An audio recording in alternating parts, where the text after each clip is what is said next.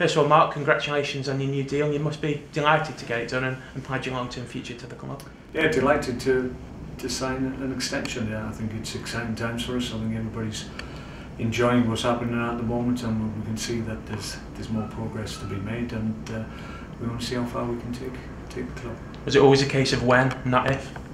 Yeah, for, for me it was. Um, I think um, obviously it came here 18 or so months ago, um, and it's, gone as well as I could have hoped for. I'm delighted that we've been able to keep progressing every year. This year has been more difficult than last year because of circumstances and injuries, but we, we've still uh, been very competitive, and uh, I think next year we, we can we can do even better with a, a bit more investment, and um, we can see how far we can go. And uh, I think continuity is huge. I think in football, certainly in, in the Premier League as well, and um, and hopefully this extension to the contract will will give that continuity both to, to the club, obviously to myself, um, and to the players, um, because they understand that there's, there's going to be a continuity in work and in, in people that they're working with, and I think that helps players because they know what to expect and uh, and they know the quality of the work they're going to get. So um, I think that's important moving forward.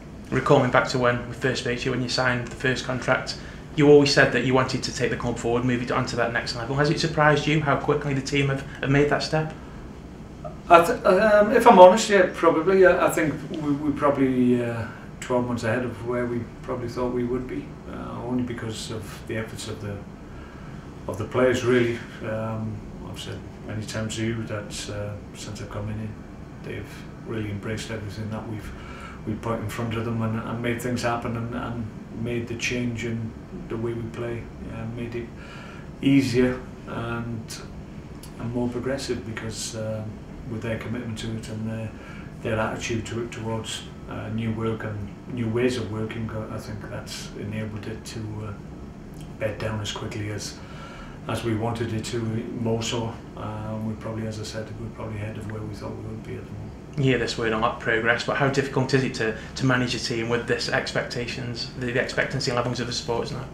Well, yeah, but, but I've said many times that I, I don't mind expectation. I think it's in, it's important that uh, our fans have um, belief and expectation and uh, and hope and, and they want to see how far we can go and they want to be excited by that and uh, I've never been one to to underplay the potential of the group that I've got. I've always tried to push them forward and, and try to raise expectations. It's at times it's, it's high risk because you can disappoint people if uh, you don't quite achieve what you feel you're capable of but uh, I'll always try and raise expectations if I can. I think um, people don't want to be told that you're just looking to stay in the league. They want to be told that you, you're chasing trophies, you, you're looking for good cup runs and you're looking to progress and be a top 10 side. That's how I've always viewed it and uh, that won't change in the, in the coming seasons.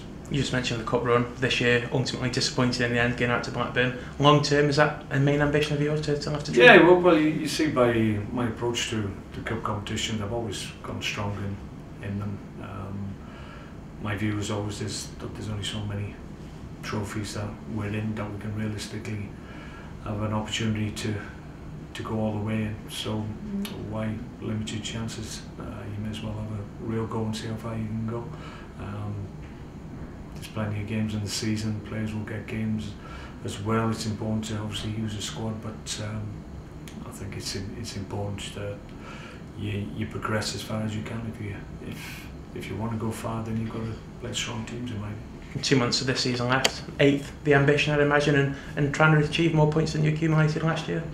Yeah, well, achieve more points. Yeah, I mean, um, whether or not that will will be enough for for eighth, ninth, tenth, we, we don't know because uh, every season's different. But uh, certainly at the beginning of the year, we wanted to beat our total from last year. That was our intention. We were on track for that. We've um, had two defeats, but uh, in fairness, last time out, um, I thought we were excellent apart from obviously two mistakes. And, and at the level we, we operate, then uh, you can be you can be penalised for any mistakes that uh, you make. Unfortunately, on the day we were, but um, performance-wise, we were fine. I was really encouraged again. So for the most part, the season has been uh, really satisfying. I think everybody's enjoyed what we've tried to do. uh, we've been compromised sometimes with injuries and, um, and mistakes that have held us back. But uh, for the most part, I think it's been a really a season of progress because of the circumstances we had to deal with.